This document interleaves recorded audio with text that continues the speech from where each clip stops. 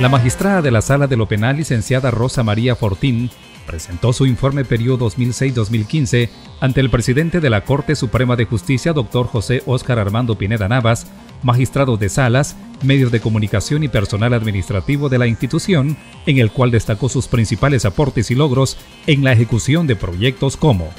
Unidad de Atención Integral a Víctimas, Violencia Intrafamiliar, Abuso Sexual y Maltrato Infantil, compuesta por unidades interinstitucionales, las cuales responden al programa de atención para mejorar el sistema de justicia en El Salvador. Proyecto de Cámara GESEL, que cuenta con una habitación acondicionada para permitir la observación y grabación de las declaraciones, ya sea de testigos o víctimas menores de edad.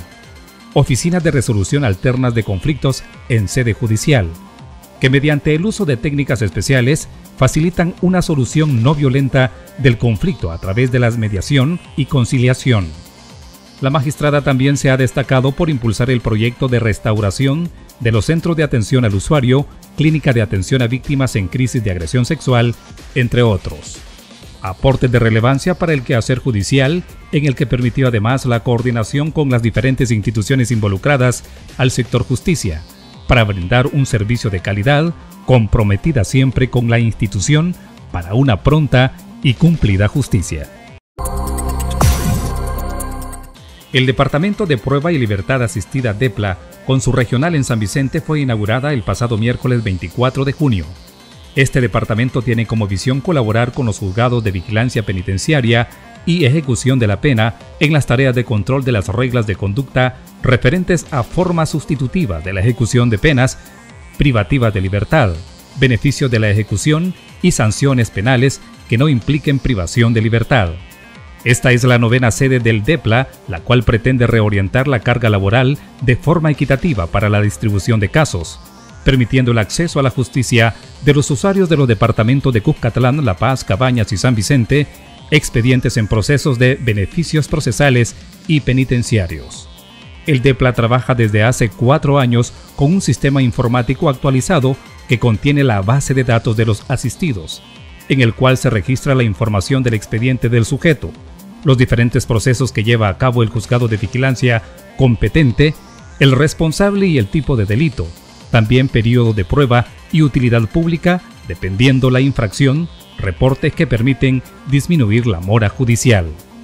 Actualmente este sistema contabiliza un total de 70.000 asistidos. Este tipo de actividades se enmarca en la visión institucional de aportar a la población usuaria herramientas para el eficaz alcance de la justicia. La inauguración fue acompañada por el presidente de la Corte Suprema de Justicia, doctor José Óscar Armando Pineda, la magistrada de la Sala de lo Penal, licenciada Rosa María Fortín, gerentes financieros y jurídicos de la Corte Suprema de Justicia, así como el jefe del DEPLA a nivel nacional y autoridades locales. La magistrada de la Sala de lo Penal, licenciada Rosa María Fortín, como funcionaria, eslabón para la implementación de diferentes herramientas que puntean para nuestra institución mejoras enmarcadas en modernización y acceso a la información, con el apoyo del presidente, doctor José Óscar Armando Pineda Navas, dio por inaugurada la Cámara GESEL en el Centro Judicial de Hilo Vasco, la cámara GESEL es utilizada para recibir las declaraciones de las víctimas o testigos que los jueces consideran una situación de vulnerabilidad, así como también en los casos especiales donde las víctimas son menores de edad que han sufrido algún tipo de agresión sexual. Actividad que fue acompañada por la magistrada de la Sala de lo Penal, licenciada Rosa María Fortín, en el marco de su último acto público, principal promotora institucional de las garantías procesales, quien considera que este tipo de herramientas permite brindar condiciones necesarias para que las víctimas confronten al agresor. Este proyecto contó con el apoyo de la Agencia de los Estados Unidos para el Desarrollo Internacional, USAID, evento en el que hubo participación de la Asamblea Legislativa, gerentes financieros y jurídicos de la Corte Suprema de Justicia. En esta semana los miembros de la mesa judicial celebraron su reunión ordinaria en el Centro Judicial Dr. Ángel Góchez Castro, en Santa Ana con el fin de tener un acercamiento con los funcionarios de la zona occidental, conocer sus inquietudes y aportaciones en temas de interés del demo judicial. reunión que permitió la conformación de una comisión de seguimiento sobre restricciones activas a petición de la Dirección de Migración y Extranjería, que tuvo el aval de la Presidencia y Gerencia Jurídica de la Corte Suprema de Justicia. Para enriquecer y actualizar los conocimientos entre los profesionales que desarrollan sus labores en escenas del delito, se llevó a cabo taller sobre delitos sexuales, dirigido a médicos forenses y personal técnico de laboratorio de la zona central, para central, oriental y occidental del país. El acercamiento permitió una interrelación para realizar los tipos de peritajes técnico-científico, los cuales son tomados como aporte en el proceso penal determinado, taller desarrollado por el Instituto de Medicina Legal y la Unidad Técnica Ejecutiva del sector justicia.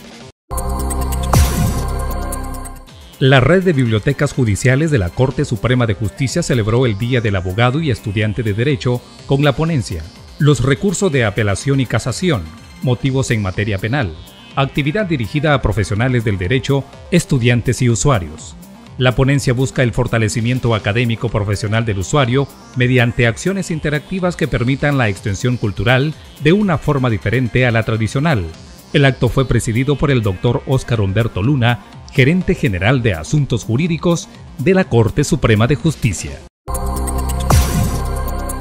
La Corte Suprema de Justicia, a través del Departamento de Reos sin Sentencia, capacitó sobre Código Procesal Penal a personal jurídico a nivel nacional con el objetivo de dar a conocer nuevas temáticas en resoluciones de la Sala de lo Constitucional y Derecho Procesal Penal, además del procedimiento común de los procesos en cada una de las sedes judiciales, permitiéndoles verificar los cumplimientos de términos y plazos establecidos por la ley y sobre todo en qué momento incidir para que los procesos no se retrasen, brindando una respuesta rápida de forma eficiente y oportuna en cualquier proceso judicial.